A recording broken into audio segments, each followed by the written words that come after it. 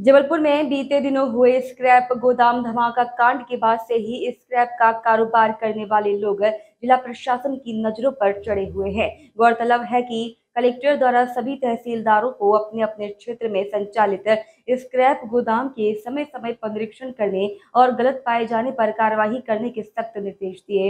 इसी तारतम्य में उमती थाना क्षेत्र अंतर्गत गुरंदी बाज़ार में स्थित सलामत टूल्स नामक दुकान में रांची तहसीलदार अपनी टीम के साथ पहुँचे। इस दौरान उनके साथ पुलिस भी दुकान में तफ्तीश करने पहुँची। कार्यवाही की जानकारी देते हुए रांची तहसीलदार ने बताया कि यह एक रूटीन चेकअप है, जिसके तहत वे सभी स्क्रैप के कारोबारियों के संस्थानों में ट्रैकिंग कर रहे हैं। उन्होंने जानकारी देते हुए बताया कि सलामत टूल्स द्वारा स्क्रैप का कारोबार किए जाने का रजिस्ट्रेशन करवाया गया है, जिस कारण टीम वाहन जाँच करने पहुँची थी। हालाँकि संस्थान द्वारा सिर्फ़ टूल का व्यापार किया जा रहा है, लेकिन ऐसी खबर है कि इससे पूर्व में भी वह स्क्रैप का कारोबार किया करता था। सलामत टूल्स के साथ साथ गुरंदी क्षेत्र के कई अन्य व्यापारियों की यहाँ भी टीम ने जाँच की।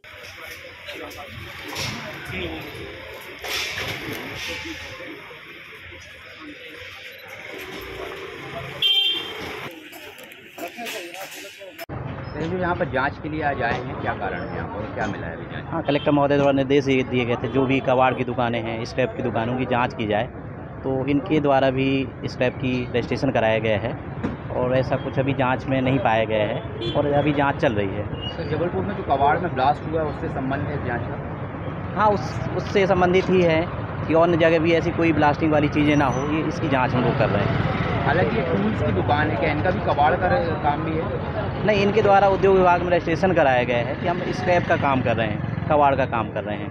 पर अभी जाँच के दौरान ऐसा कुछ नहीं पाया गया कि ये स्क्रैप का काम कर रहे हैं।